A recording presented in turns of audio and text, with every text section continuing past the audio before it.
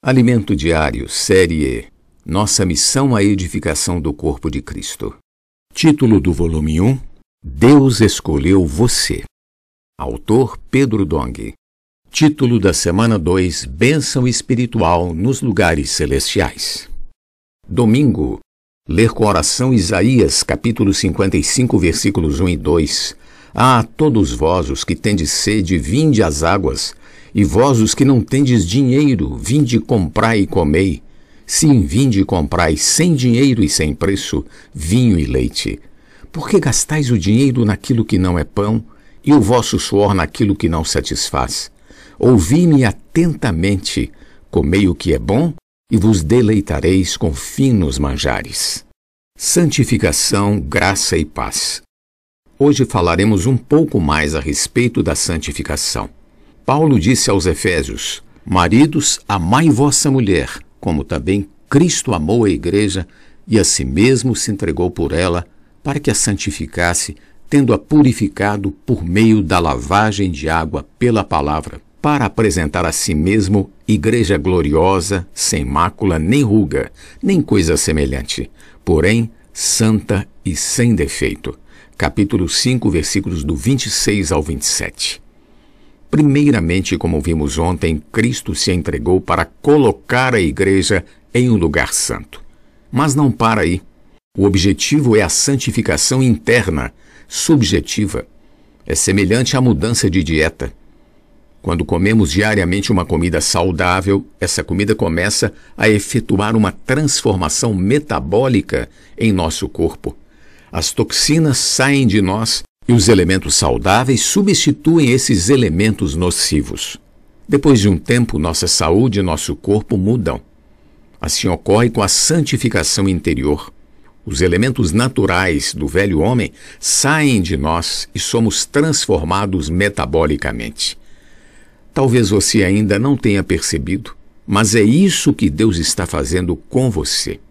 Observe que muito do que você fazia antes já não faz mais pois está sendo transformado, santificado interiormente.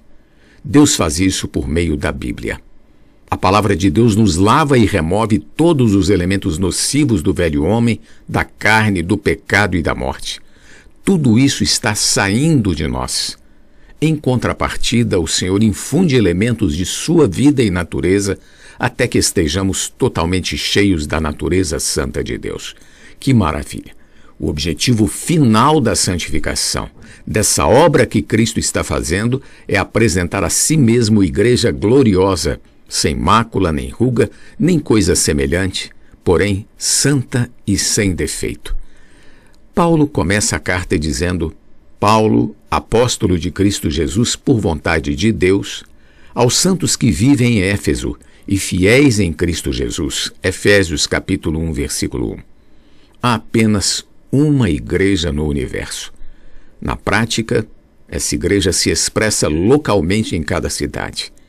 Assim, o que a Bíblia nos mostra é que em cada cidade há apenas uma igreja, como Paulo disse aos santos que vivem em Éfeso.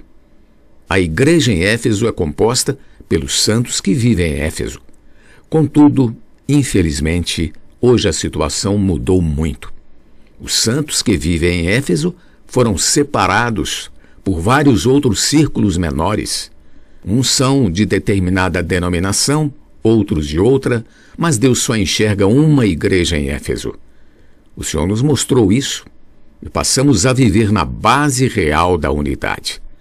Ainda que em nossos dias essa não seja a realidade praticada por muitos, nós que tivemos essa visão não podemos estar sobre uma base divisiva. Desse modo, quem recebe essa visão passa a viver na base da unidade, sem, contudo, criticar ou julgar ninguém. Por estarmos na base correta, Deus nos tem dado muita revelação. Porém, não devemos orgulhar-nos. Pelo contrário, é nossa obrigação levar essa palavra a todos os filhos de Deus. Por isso temos os colportores, o jornal Árvore da Vida, o Expolivro, pois o que o Senhor nos tem concedido é para a sua igreja e tem de beneficiar todos os seus filhos. No versículo 2 lemos: Graça a vós outros e paz da parte de Deus nosso Pai e do Senhor Jesus Cristo. Efésios capítulo 1. A graça é Deus em Cristo. João 1,17. Foi Jesus Cristo quem trouxe a graça. Graça é o próprio Deus com todas as suas riquezas em Cristo, sendo dado a nós gratuitamente no Espírito. Hoje o Espírito nos foi dado, pois Jesus já foi glorificado. João capítulo 7, versículos 38 e 39. O Espírito, ou seja, a graça, flui de nosso interior como rios de água viva gratuitamente para outras pessoas.